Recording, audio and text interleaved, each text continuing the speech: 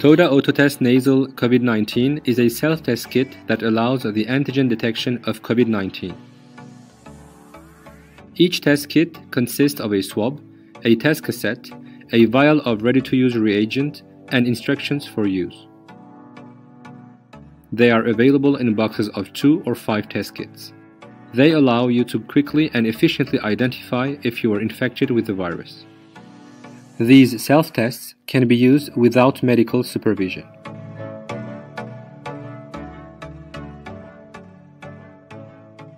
Before carrying out the diagnosis, and in order to perform the test in the best possible conditions, we advise you to carefully read the instructions and to blow your nose in case of nasal congestion. Open the sachet containing the test cassette, then unscrew the blue cap from the vial Place the vial in the pre-punched opening on the box and remove the swab from its packaging. Gently insert the entire absorbent part of the swab into the nostril. Lightly pinch the nostril and twist the swab inside it, making 5 full turns. Repeat this process for the other nostril with the same swab.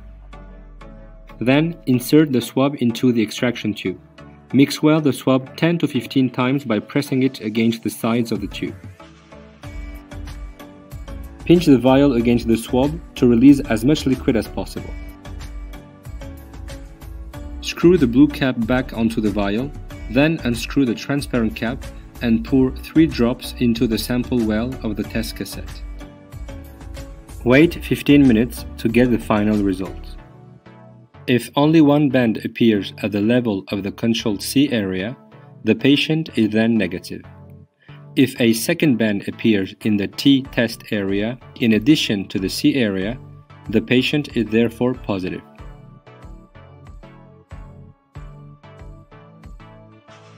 If no band appears in C area, your test is not valid. You will then need to start the procedure again with a new device.